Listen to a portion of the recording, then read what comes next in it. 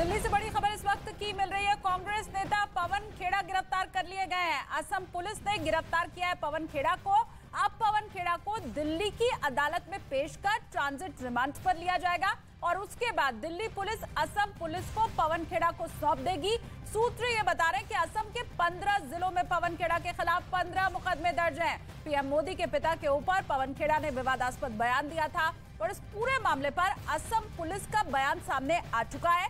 उन्होंने जानकारी ये दी है कि असम के दीमा हसाओ ज़िले में कांग्रेसी नेता पवन खेड़ा के खिलाफ मामला दर्ज किया गया है।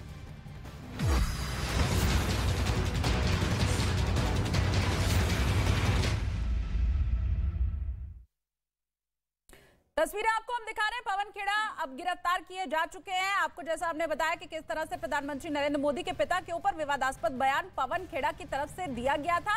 और अब असम पुलिस ये बता रही है कि असम के पंद्रह जिलों में पंद्रह मामले दर्ज कराए गए थे। पवन खेड़ा के खिलाफ पंद्रह मुकदमे दर्ज थे और असम पुलिस ने दिल्ली पुलिस को यह कहा था कि पवन खेड़ा को गिरफ़्तार किया जाए। तस्वीरें आप देखिए, कैसे पवन खेड़ा को ले जाती हुई आपको यहाँ पर दिल्ली पुलिस दिखाई दे रही है।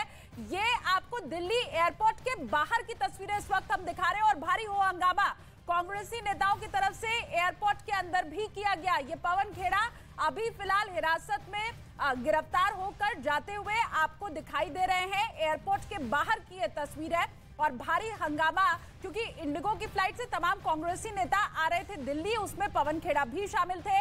और किस तरह से अंदर ही बैठ गए तमाम कांग्रेसी नेता, वो तस्वीर भी इसके पहले हमने आपको दिखाई थी, लेकिन इस पूरे मामले पर अपडेट यही है कि पवन खेड़ा को गिरफ़्तार करके दिल्ली पुलिस फ़िलहाल ले जाती हुई आपको दिखाई दे रही है।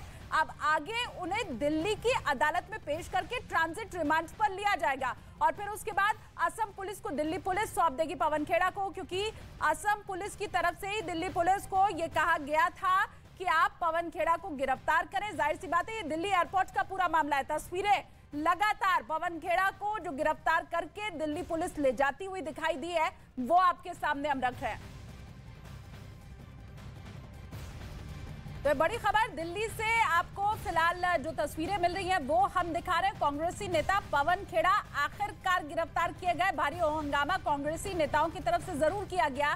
बाकायदा धरने पर बैठते हुए कांग्रेसी नेता दिल्ली एयरपोर्ट के अंदर दिखाई दिए और यही वजह रही कि वो जो फ़्लाइट थी, जिसमें तमाम कांग्रेसी नेता आए थे, जिसमें पवन खेड़ा भी शामिल थे, उसमें जो कुछ आम यात्री सवार थे, उन्हें दूसरी फ़्लाइट से फिर आगे भेजा गया।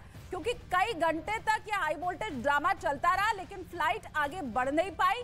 अब उसके बाद किस तरह से पवन खेड़ा को दिल्ली पुलिस ले जाती हुई दिखाई दे रही है, ये इन तस्वीरों में आप देख सकते हैं।